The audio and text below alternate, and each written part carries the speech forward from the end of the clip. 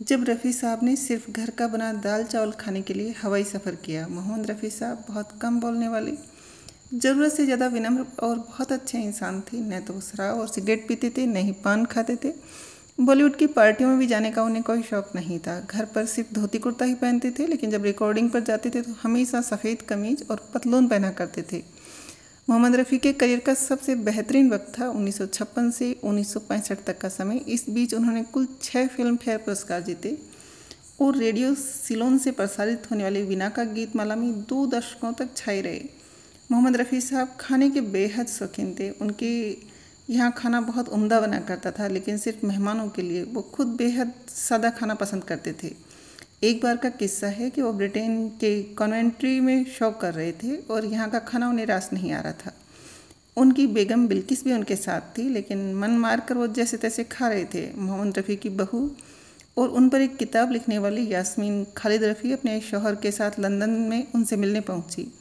तो रफ़ी साहब बेहद मायूस और थोड़े ख़राब मूड में थे। इसका कारण रफ़ी साहब से पूछा तो वो बोले, मुझे यहाँ का इंग्लिश खाना रास नहीं आ रहा है। मैं यहाँ घर का बना खाना मिस कर रहा हूँ। फिर वो एकाएक यास्मीन की तरफ़ मुड़े और पूछा, क्या तुम एक घंटे में मेरे लिए दाल, चावल और चटनी बना सकती हो? यास्मीन ने कहा हाँ क्यों नहीं? तो रफ़ी साहब बोले, चलो लंदन तुम्हारे घर चलते हैं। यास्मीन ने थोड़ा हैरान, परेशान होकर घड़ी देखी। ठीक शाम के चार बज रहे थे और रफ़ी साहब का शो ठीक सात बजे शुरू होना था।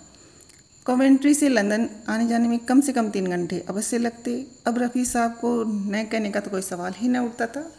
उन्होंने रफ़ी साहब को सात बजे शुरू होने वाले शो की याद दिलाई तो रफ़ी साहब बोले, किसी को बताने की ज़रूरत नहीं, हम सात बजे शो शुरू होने से पहले वापस कमेंट्री लौट आएँगी। मुझे घर का बना दाल चावल खाना है, बस। आखिरकार रफ़ी साहब के आगे किसी की भी नहीं चली। रफ़ी साहब उनकी पत्नी बिल्किस, खालिद और यास्मीन बिना किसी को बताए अपने घर लंदन उल्टे पैर वापस रवाना हो गए। लंदन में अपने घर पहुंचकर यास्मीन ने उनके लिए झटपट दाल चावल और चटनी और प्याज टमाटर का सलाद बनाया। और उनके शौहर खालिद ने यास्मीन की मदद खाना बनाने में की। और रफ़ी साहब को खाना परोसा और उन्होंने जमकर भोजन का आनंद उठाया। रफ़ी साहब ने घर का बना खाना लंदन में खाकर यास्मीन को बहुत दुआएँ दी और ऐसे लगा कि जैसे किसी बच्चे को उसकी पसंद का खिलौना मिल गया हो। और रफ़ी साहब ठीक सात बजे शो करने के लिए कॉमेंट्री भी वापस आ गए। जब उन्होंने कॉमेंट्री लौटकर आयोजकों को बताया कि वह सिर्फ़ खाना खाने लंदन गए थे तो सब आश्चर्यचकित रह गए।